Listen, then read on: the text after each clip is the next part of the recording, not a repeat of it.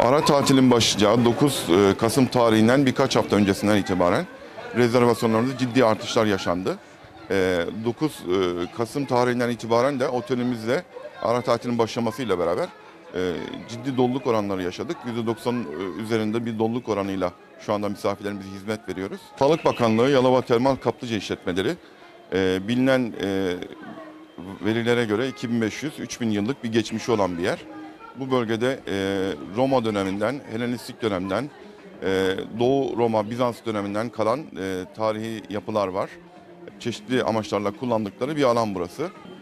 Sultan II. Abdülmecit döneminde e, yapılan e, Valide Sultan Hamamımız var. Arkamızda gördüğünüz termal havuzumuz Cumhuriyet'in ilk yıllarından beri aktif olarak kullanılan bir alan.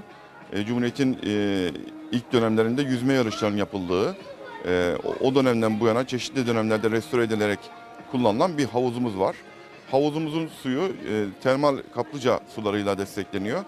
E, biz misafirlerimizin e, suyu hissedebilmeleri bakımından 35-38 derece arasında havuzun e, sıcaklığını ayarlıyoruz E, ve misafirlerimizin kullanımına sunuyoruz.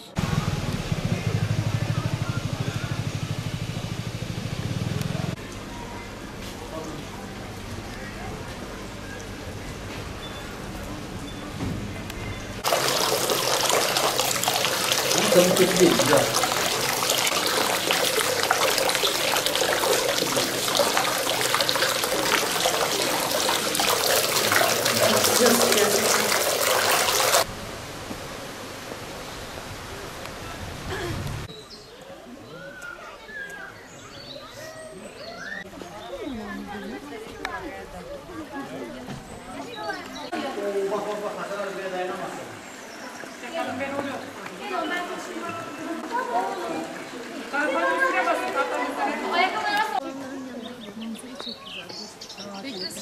Anne babamlar nerede?